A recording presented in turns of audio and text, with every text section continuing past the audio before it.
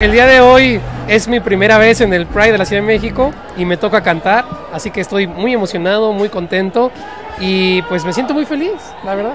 ¿Cómo ha sido para ti abrirte, abrirte paso, tal vez en un medio con el heteropatriarcado? ¿Cómo ha sido para ti abrirte paso como una figura gay?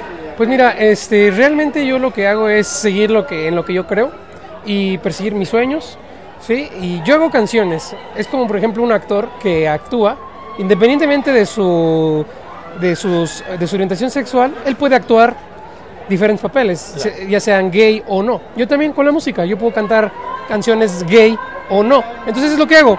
Canto canciones en general, algunas son eh, heterosexuales, por así llamarle, ¿no? Y otras no, entonces, otras no tienen tampoco eh, él, ella, etcétera. Entonces es lo que hago.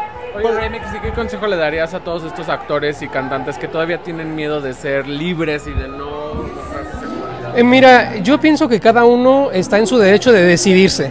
O sea, si tú te sientes bien en secreto y pretendiendo quizá algo que no eres y te sientes bien, continúa. En realidad no hay una presión de nada. Yo en mi caso, yo no puedo estar así. O sea, yo sí necesito ser más transparente conmigo y con la gente que me sigue. Por eso es que yo lo decidí hacer y soy abiertamente gay.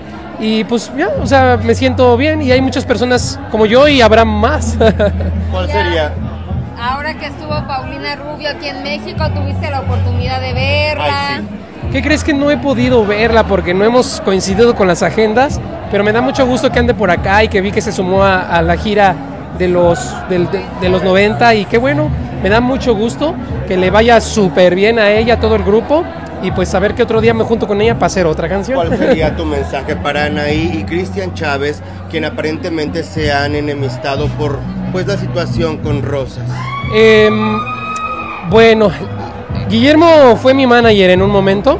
Eh, platiqué esto con mi equipo interno y pues definitivamente siempre lo que se debe de hacer es, si las cuentas no cuadran, pues hay que buscar una auditoría y revisar que cuadren, porque las matemáticas son exactas.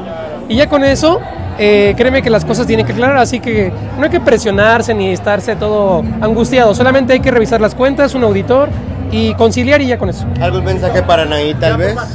Pues que, que contraten a, a personas que los apoyen, ¿no? Para que las cuentas estén claras. Es lo único que yo pienso que es lo mejor para cualquier proyecto.